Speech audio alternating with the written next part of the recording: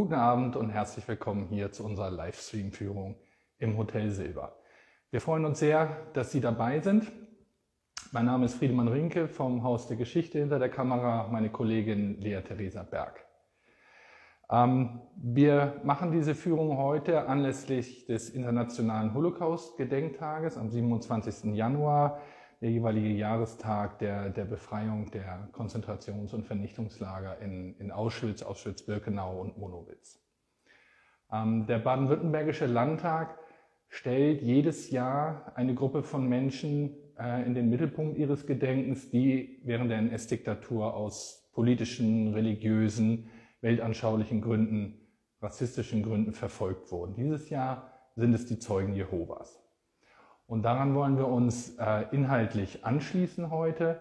Ich werde also in diesen gut 30 Minuten über die Zeugen Jehovas und ihre Verfolgung hier vom Hotel Silber aus ähm, sprechen und zu den Orten hier in der Dauerausstellung gehen, wo dieses Thema eben relevant ist. Sie können gerne Fragen stellen zwischendurch. Meine Kollegin bekommt es dann mit und würde sie an mich weiterreichen. Ähm, ganz kurz ein Hinweis noch. Der Begriff Zeugen Jehovas ist, glaube ich, den allermeisten geläufig. Ich glaube, viele haben auch ein Bild vor Augen. Vielleicht ähm, die Situation, dass zwei Menschen an öffentlichen Plätzen mit, mit Zeitschriften stehen. Vielleicht heute, glaube ich, weniger, aber früher war es häufiger, dass sie von Haus zu Haus gehen und ihre Schriften anbieten. Darüber hinaus ist vielleicht das Wissen zu den Zeugen Jehovas nicht so weit verbreitet. Was macht sie eigentlich aus? Wo liegen Unterschiede zu anderen christlichen Konfessionen, Katholiken, Protestanten? Zu diesem Thema haben wir heute einen Podcast freigeschaltet auf unserer Webseite geschichtsort-hotelsilber.de, wo wir mit Dr. Hubert Rosa über die Zeugen Jehovas sprechen, solche Fragen diskutieren, aber natürlich vor allen Dingen auch darauf eingehen, wie diese Religionsgemeinschaft und ihre Mitglieder in der, während der NS-Diktatur verfolgt wurden. Überblicksartig, aber wir gehen auch auf Einzelbeispiele hier aus dem Südwesten ein. Das möchte ich Ihnen ans Herz legen, ähm, wenn Sie sich weiter informieren wollen, dass Sie sich diesen Podcast vielleicht noch anhören. Nun aber hier zur Dauerausstellung ähm, im Hotel Silber. Dazu nur einige Worte. Das Hotel Silber war vom Ende der Weimarer Republik bis Ende der 70er, Anfang der 80er Jahre Polizeidienststelle hier in Stuttgart. Entsprechend haben wir hier in der Dauerausstellung unseren Schwerpunkt nicht allein auf die NS-Diktatur gerichtet, sondern sprechen auch über die Zeit vor 1933, über die letzten Jahre der Weimarer Republik hier in Stuttgart und in Württemberg und über die Zeit nach 1945 auch, vor allen Dingen in Stuttgart, als die Kriminalpolizei hier das Haus nutzte. Ähm, es sind vor allen Dingen zwei Stationen, die ich hier ähm, vorstellen möchte in der Dauerausstellung. In der ersten Station stehen wir schon. Es ist der erste Raum der Ausstellung. Vielleicht kann man es erkennen.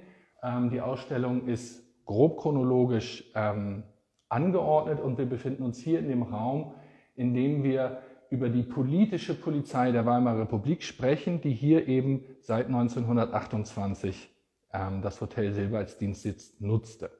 Die politische Polizei war eine Art Staatsschutz. Sie hatte also die Aufgabe, demokratiefeindliche, republikfeindliche Bestrebungen zu beobachten und zu erkennen und zu berichten, dann vor allen Dingen an verantwortliche staatliche Stellen. Gerade in den letzten Jahren der Weimarer Republik fiel in ihre Zuständigkeit auch die Zensur von politischen Schriften oder solchen Schriften, die als strafrechtlich oder polizeirelevant galten. Wir haben hier in der Tischvitrine in der wir in jedem Raum immer das polizeiliche Handeln der jeweiligen Zeit vorstellen, also welche Aufgaben hatte die Polizei, wer führte die Aufgaben aus und wie wurden sie ausgeführt, haben wir eine Liste liegen, ähm, in der das Polizeipräsidium bzw. die politische Polizei für einen bestimmten Zeitraum auflistet, welche Schriften, welche Druckerzeugnisse sie verboten und beschlagnahmt hat. Das ist jetzt nur ein Blatt einer sehr viel längeren Liste. Ähm, das sind hunderte Titel, die in dieser Liste immer periodisch aufgeführt werden.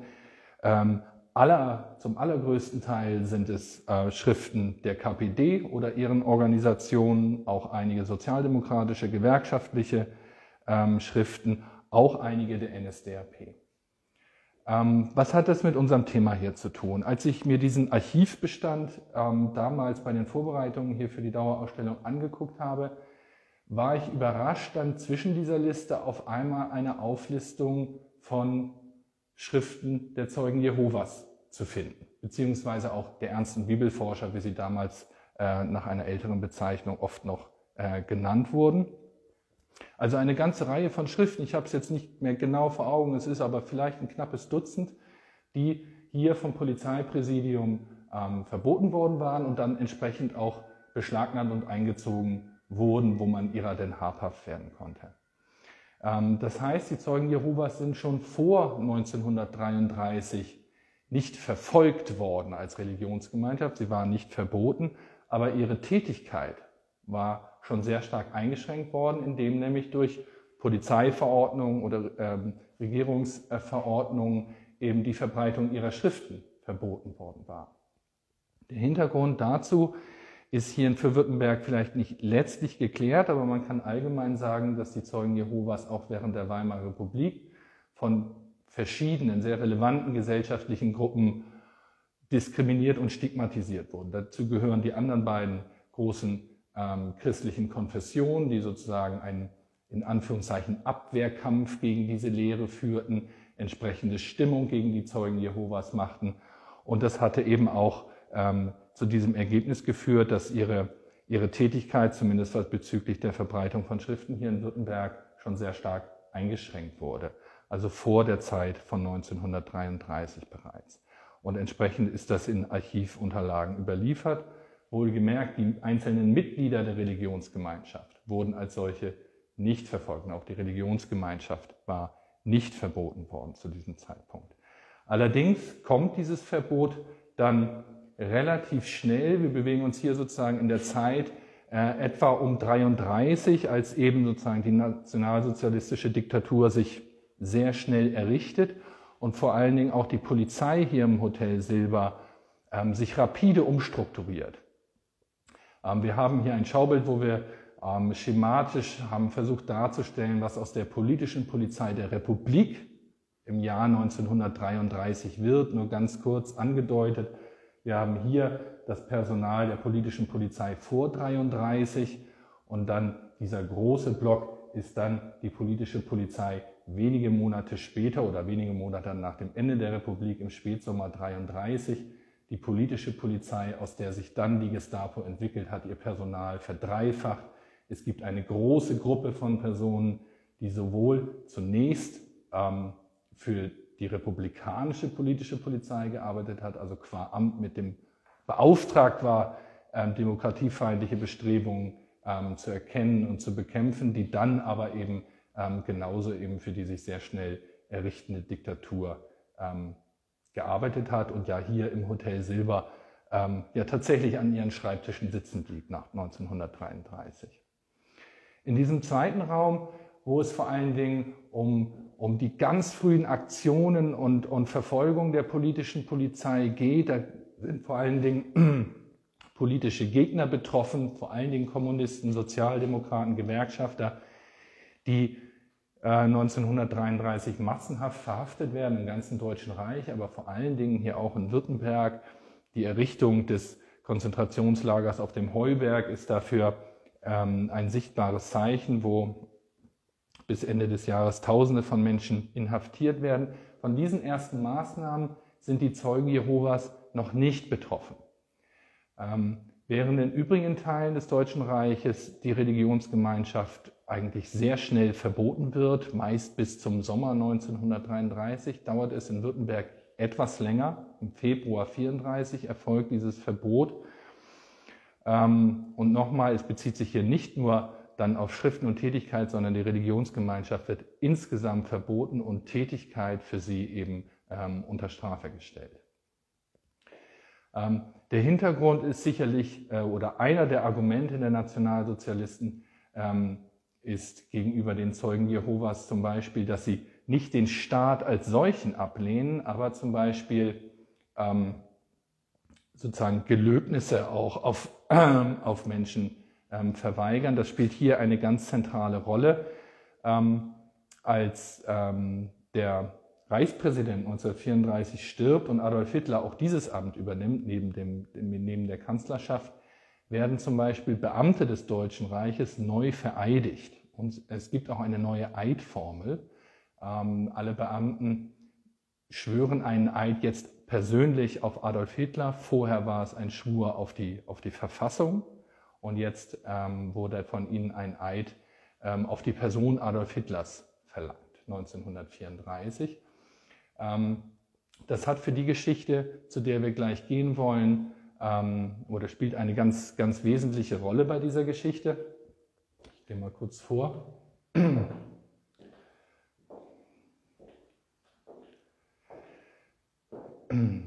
Was ich vorhin kurz angedeutet habe, dass es den Zeugen Jehovas aus Glaubensgründen ähm, verboten war, so einen Schwur zu leisten, hatte natürlich für diejenigen, die zum Beispiel im öffentlichen Dienst arbeiten oder als Beamte, massive Folgen.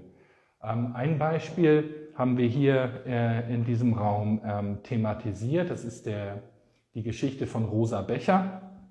Rosa Becher war Beamtin, Postassistentin ähm, hier in Stuttgart. Und als sie wie alle anderen 1934 aufgefordert wurde, diesen neuen Amtseid auf Adolf Hitler zu leisten, hat sie das gemäß ihres Glaubens, sie war Zeugin Jehovas, eben verweigert. Das hatte zunächst mal lediglich, vor dem Hintergrund dem, was ihr dann noch geschah, lediglich die Entlassung aus dem Staatsdienst zur Folge. 1934. Ähm, sie ließ sich allerdings von diesen äh, sozusagen von dieser Drohgebärde ähm, nicht einschüchtern und war weiter sozusagen in der, in der Illegalität gedrängten Tätigkeit weiter für die Zeugen Jehovas tätig. Sie hat weiter zusammen mit anderen Druckerzeugnisse erstellt. Sie hat sie konspirative Art und Weise unter Glaubensbrüdern ähm, und Schwestern weiter verteilt und weiter einfach versucht, diese Glaubensgemeinschaft äh, am Leben zu erhalten. Ähm, die Gestapo war von Anfang an beauftragt, die Zeugen Jehovas äh, zu beobachten und gegebenenfalls eben Verstöße gegen dieses Verbot aufzudecken und zu ahnden. Darum geht es auch hier äh, in dieser Geschichte. Der Brief, den wir hier an der Wand haben, ich weiß nicht, warst du schon, warst du schon drauf, ähm, ist ein Brief von Rosa Becher, den sie 1938 an ihre Familie schreibt. Den Brief schreibt sie aus dem Frauengefängnis Gotteszell. Ähm, dazu der Hintergrund, äh, Rosa Becher war, wie viele andere ähm, Zeugen Jehovas, 1937 verhaftet worden. Es gab landesweit, kam es zu richtigen Verhaftungswellen gegen Zeugen Jehovas. Rosa Becher war eine von ihnen. Und sie wurde eben wegen ihrer illegalen Tätigkeit für die Religionsgemeinschaft 1938 äh, vor das Stuttgarter Sondergericht gestellt. Es gab vorher Ermittlungen der Gestapo. Sie haben sie in ihrer Wohnung verhaftet, sie haben die Häuser, die Wohnung ähm, durchsucht und entsprechende Dinge beschlagnahmt. Und auch bei diesem Verfahren war sie nicht allein, sondern stand mit vielen anderen gemeinsam ähm, eben vor Gericht. Der Vorwurf war tatsächlich die Aufrechterhaltung ähm, einer verbotenen, ähm, eines verbotenen Vereins und Gruppe und zusätzlich eben noch ähm, sozusagen die dann als staatsgefährdend betrachtete Tätigkeit des, der illegalen Herstellung von Druckschriften und der Verbreitung dieser Druckschriften. Rosa Becher ist vom Sondergericht zu zweieinhalb Jahren Haft verurteilt worden. Und dieser Brief stammt eben aus der Zeit, wo sie diese Haft in Gottes Zell im Frauengefängnis äh, verbüßen musste. Das vielleicht Interessante ist, dass dieser Brief überhaupt überliefert ist, also dass wir ihn ähm, heute hier ausstellen können. Ähm, das liegt daran, dass dieser Brief von der Gefängnisleitung nicht weitergeleitet wurde. Vielleicht kann man es erkennen, der Brief ist eigentlich mehrseitig, auf anderen Seiten ist es vielleicht deutlicher. Sie sehen im unteren Bereich einen roten Strich, der die unteren Zeilen durchstreicht. Ähm, natürlich wurden Briefe von Gefangenen ähm, durchliefen die Zensur und dieser Brief wurde eben beanstandet. Rosa Becher hat in ihrem Schreiben an, an ihre Familie, auch in, noch in weiteren Schreiben, eben nicht davon Abstand genommen, sich auf ihren Glauben zu beziehen, auf ihr Bekenntnis zu beziehen und spricht in diesem Brief auch gegenüber ihren Familienmitgliedern davon. Und das war äh, augenscheinlich der offensichtliche Grund, warum der Zensor sozusagen diesen Brief beanstandet hat und ihn zurückgehalten hat. Der Brief hat also ihre Familie nie erreicht. Er ist in ihrer ähm, Gefangenenpersonalakte verblieben, wo wir ihn dann eben haben finden können und wir ihn heute hier, ähm, hier ausstellen können. Wenn wir ähm, kurz hier rüber gehen, sozusagen, hier gibt es im Tisch dann ähm, das entsprechende Dokument von der Gestapo ähm, zu diesem Vorgang. Auch hier ist es vielleicht interessant, sich dieses Schreiben ähm, genauer anzugucken. Wenn man es sich ansieht, merkt man schnell, dass es sich um einen Vordruck handelt. Das ist also kein, kein Brief, der speziell für einen Fall geschrieben wurde mit verschiedenen ähm, Umständen, sondern es ist ein Vordruck, merkt man vielleicht auch daran, dass er ähm, ganz allgemein von der Gefangene spricht, also gar nicht, ähm, ähm, es müsste eigentlich heißen, die Gefangene Becher, sondern im Vordruck, den gibt es halt nur in männlicher Form bei der Gestapo. Ähm, mit diesem Vordruck sorgt die Gestapo dafür, er ist an das ähm, Frauengefängnis Gottes Zell gerichtet, sorgt die Gestapo dafür, dass sie sofort informiert wird, wenn ähm, Gefangene, in diesem Fall Rosa Becher, eben kurz vorm Ende der, ihrer Strafe sind und bitte darum, dass man eben benachrichtigt wird und dass die Gefangene, wohlgemerkt nach der Verbüßung ihrer Strafe, sofort wieder der Gestapo überstellt wird. Und so steht es da auch dann eben zur Prüfung der Schutzhaftfrage. Hintergrund war hier, dass die Gestapo alle Zeugen Jehovas, die eben eine, ähm, eine, eine Strafe vom, vom, vom Gericht angeordnete Strafe verbüßten, sofort wieder vorluden. Und womit sie dann konfrontiert wurden, war, dass sie ein Schreiben ähm, unterzeichnen sollten, in dem sie nicht nur ihrem Glauben, sozusagen sich von ihrem Glauben distanzierten, sondern ihn als Irrglauben bezeichneten und sozusagen mit ihrer Unterschrift beeideten, dass sie sich fortan ähm, nicht nur für die Organisation nicht mehr betätigen wollen, sondern dass sie insgesamt ähm, dieser Glaubensgemeinschaft, ähm, aus dieser Glaubensgemeinschaft austreten wollen oder werden. Rosa Becher hat diese Unterschrift verweigert. Sie ist tatsächlich von Gotteszell dann hier wieder nach Stuttgart ähm, gekommen. Sie ist nicht in Freiheit entlassen worden, obwohl sie ihre Strafe verbüßt hatte ist hier ins Polizeigefängnis gekommen und dann hier ins Hotel Silber überstellt worden. Hier wurde dieses Schreiben vorgelegt und sie hat die Unterschrift ähm, dazu verweigert. Das hatte für sie die Konsequenz, dass sie eben nicht in Freiheit entlassen wurde, sondern gleich von hier aus ähm, ins Konzentrationslager von der Gestapo überführt wurde. Und tatsächlich blieb sie ähm, bis Ende 1945 in, in verschiedenen Konzentrationslagern. Ähm, das Schicksal von Rosa Becher ähm, ist für die Verfolgung der, der Zeugen Jehovas durch die Gestapo durchaus beispielhaft. Ich habe einige Punkte schon erwähnt, also die, ähm, die Weigerung, den Eid auf Adolf Hitler zu leisten, hier in diesem Fall als Beamten. während des Zweiten Weltkrieges spielt das nochmal in einer sehr viel verschärfteren Form für Zeugen Jehovas äh, eine Rolle, die Weigerung, nämlich wenn sie den Wehrdienst verweigerten. Ähm, Zeugen Jehovas war es grundsätzlich äh, aufgrund ihres Glaubens nicht erlaubt, eine Waffe in die Hand zu nehmen, auch nicht als Soldaten ähm, zu dienen, schon gar nicht in den Krieg zu ziehen, sodass es unter den Zeugen Jehovas eine große, große Gruppe gab, die eben den Einbestellungsbefehl zur Wehrmacht verweigert haben. Und tatsächlich stand auf diese Weigerung ähm, im Nationalsozialismus nicht nur für Zeugen Jehovas, insgesamt auf die ähm, Wehrdienstverweigerung ähm, die Todesstrafe. Und so ist es auch gekommen, dass ähm, unter den Zeugen Jehovas die Anzahl derer, die aufgrund von Wehrkraftzersetzung, wie es damals ähm, sozusagen dann im, ähm, hieß, äh, dass die aufgrund von Wehrkraftzersetzung tatsächlich zum Tode verurteilt wurden und auch hingerichtet wurden.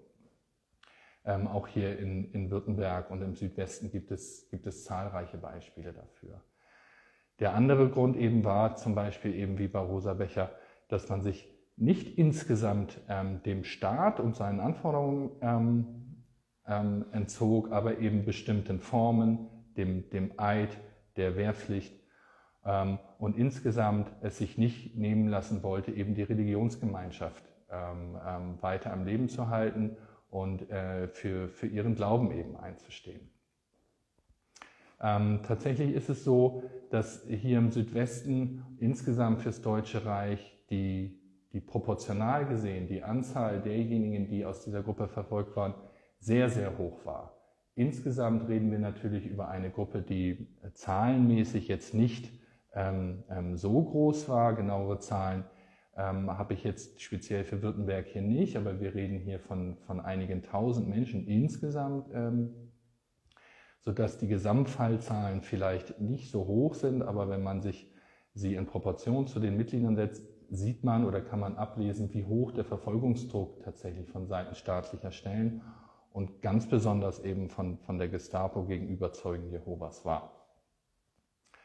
Ähm, man kann hier an dem Schreiben auch, auch gut ablesen nochmal ähm, das Agieren der Gestapo im Einzelnen. Etwas ganz Unscheinbares sieht man hier oben im Briefkopf. Das ist sozusagen die Kenn, ähm, sozusagen das Aktenzeichen. Äh, dahinter verbirgt sich tatsächlich äh, hinter diesem ähm, äh, 2D ähm, das Referat hier im Hotel Silber, was eben für solche Schutzhaftfragen, wie es damals hieß, eben zuständig war. Es war ein eigenes Referat als solches dann natürlich nicht nur zuständig für die Zeugen Jehovas, sondern für alle äh, Gruppen, alle Verfolgten, die, wo die Frage im Raum stand, ob sie in diese sogenannte Schutzhaft genommen werden sollen. Kurze Erklärung des Begriffes, der ist vielleicht heute ähm, ein bisschen zu ikonografisch geworden. Schutzhaft ist einfach, dass die Gestapo ohne richterliche Anklage eben Personen verhaften konnte und sie vor allen Dingen auch unbefristet in Haft halten konnte konnte weiterhin.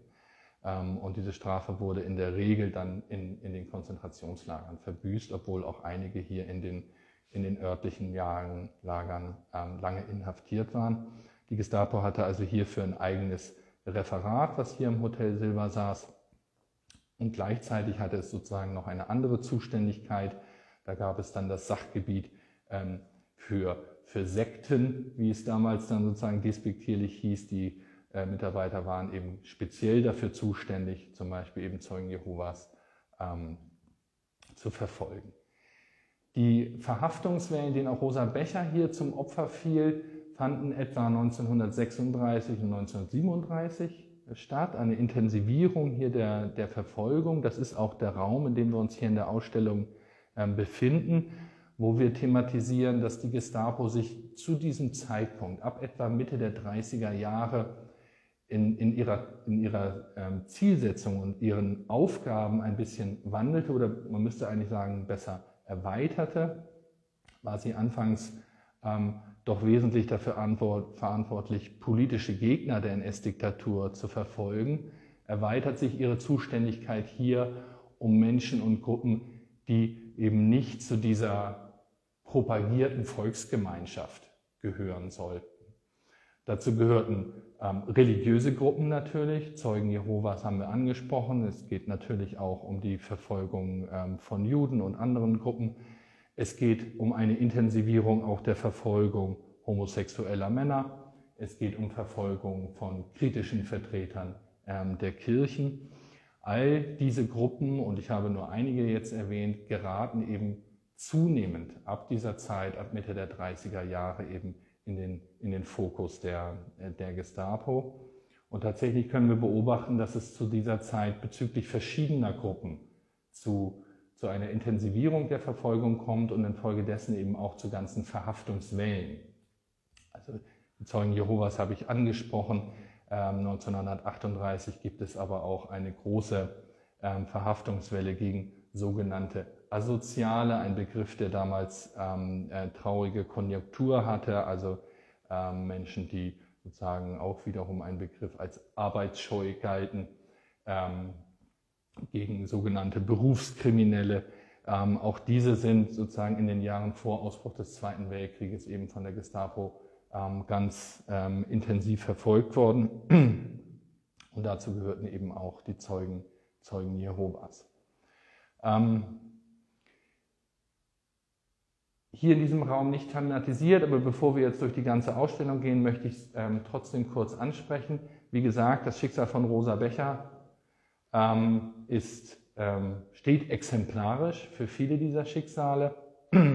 viele haben es nicht überlebt, wir haben es angesprochen, aber auch für die, die dann im April oder im Frühjahr 1945 aus den Gefängnissen und Lagern befreit wurden. ähm, auch da gibt es danach ähm, gewisse ähm, ähm, ja, Merkmale, vor allen Dingen bezüglich der sogenannten Wiedergutmachung. Ähm, in den Jahren nach 45, eigentlich zieht es sich ähm, ähm, auch jahrzehntelang hin, hatten ja Menschen, die aus rassistischen oder politischen Gründen verfolgt wurden, einen gewissen Anspruch auf Wiedergutmachung. Es gab eine gewisse, einen gewissen ähm, finanziellen Satz zum Beispiel für in Haft verbrachte Tage. Man konnte Wiedergutmachung auch für, für Schäden an der Gesundheit äh, beantragen oder eben äh, auch für materielle Güter, die meinetwegen bei Beschlagnahmung ähm, dann verloren gegangen sind. Ähm, verlässliche Zahlen zur Wiedergutmachung gegenüber Zeugen Jehovas liegen für Württemberg leider noch nicht vor. Ähm, wenn man sich allerdings die Einzelfälle betrachtet, die wir ähm, in Vorbereitung hier für die Ausstellung uns angesehen haben, muss man zunächst eigentlich sagen, dass auch Zeugen Jehovas anfangs relativ gute Aussichten auf eine bestimmte Wiedergutmachung hatten. Zum Beispiel Ganz wichtig natürlich, dass die Urteile, die gegen sie ergangen sind, sofern sie denn vor Gerichten überhaupt gestanden haben, dass diese doch in vielen Fällen nach 45 aufgehoben wurden. Das hat ähm, für die Betroffenen im Grunde ähm, zweierlei Wert, würde ich mal sagen. Erstmal ist es natürlich ein, ein, ja, ein, ein symbolischer Akt, dass sozusagen ein, eine staatliche Stelle bestätigt, dass das damalige Urteil ein Unrechtsurteil war. Es hat aber natürlich auch einen sehr praktischen Wert, weil die, das damalige Urteil und die Strafe dann aus dem, aus dem Strafregister getilgt wird, was natürlich für verschiedene Berufe und in der Biografie eine ganz, ganz wichtige Rolle spielen kann. Das wurde damals also, wie gesagt, basierend jetzt auf Einzelfälle hier in Württemberg doch ähm, zumindest regelmäßig angewandt. Ähm, ganz anders sieht es, glaube ich, aus, wenn man ähm, betrachtet, wie die Zeugen Jehovas als Gruppe auch in der Gesellschaft und in der Öffentlichkeit wahrgenommen wurden. Und da muss man tatsächlich konstatieren, dass sie ähm, als, als Gruppe der Verfolgten, als Verfolgtengruppe nach 45 im Grunde kaum Anerkennung fand. Vielleicht kann man auch sagen, gar keine Anerkennung fand. Gegenüber von anderen Gruppen. Ähm, es ist zum Beispiel bezeichnend, dass es Jahrzehnte dauerte, bis überhaupt eine, eine wissenschaftliche Auseinandersetzung mit diesem Thema begann. Also sich intensiver mit der Verfolgungsgeschichte, den Gründen der Verfolgung und auch dem, den, den Folgen dieser Verfolgung auseinanderzusetzen, hat auch in der Wissenschaft jahrzehntelang tatsächlich gedauert. Mittlerweile gibt es einen ganz, ganz guten Forschungsstand, aber das hat tatsächlich eben lange Zeit in Anspruch genommen. Und allein daraus kann man, glaube ich, ablesen, dass ähm, diese Gruppe ähm, bezüglich ihrer Erlebnisse während der NS-Diktatur doch eben jahrzehntelang ja, sozusagen vernachlässigt wurden und kaum wahrgenommen wurden. Ähm, wir wissen aus vielen Berichten, dass dieser Umstand natürlich für viele ähm, sozusagen die, die, äh, sie daran gehindert hat, auch diese Traumata ähm, ähm, aufzuarbeiten für sich und auch Erzählungen zu finden für ihre Geschichte. Da waren den Zeugen Jehovas also sehr, sehr viele Steine in den Weg gelegt. Ähm, Das soll es leider in relativer Kürze hier äh, aus der Ausstellung ähm, gewesen sein. Ich glaube, es ist ganz, ganz wichtig, dass wir auch hier über die Zeugen Jehovas sprechen. Sie sind natürlich nur eine Gruppe von vielen, die hier äh, mit der Polizei, mit der Gestapo im Hotel Silber konfrontiert waren, aber eben doch eine, eine wichtige und wie gesagt auch eine relativ große Gruppe, die eben nach 45 auch große Schwierigkeiten hatte ähm, dass, ähm, dass ihre Verfolgung und auch ihr Leid ähm, auch von ihren Mitmenschen anerkannt wurde.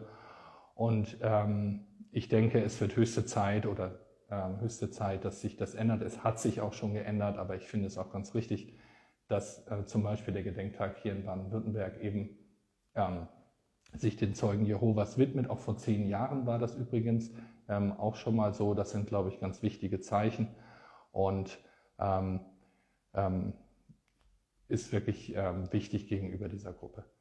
Ähm, ich freue mich sehr, dass Sie dabei waren. Meine Kollegin hat mir Zeichen gegeben, dass Sie die 30 Minuten ähm, rum sind. Ich freue mich sehr, dass Sie dabei waren. Ich würde mich auch freuen, wenn Sie sich den Podcast vielleicht noch anhören wollen. Das, was wir jetzt als Livestreaming hier gemacht haben, wird auch später bei Facebook, mindestens vielleicht noch anderen Plattformen, Instagram, Instagram natürlich, ähm, kann man sich äh, das auch später nochmal angucken und wird entsprechend auch archiviert. Wir haben das auch auf unserer Webseite verlinkt. Nochmal, ich freue mich, dass Sie dabei waren. Alles Gute Ihnen, bleiben Sie gesund und bis auf bald, vielleicht wieder im Hotel Silber.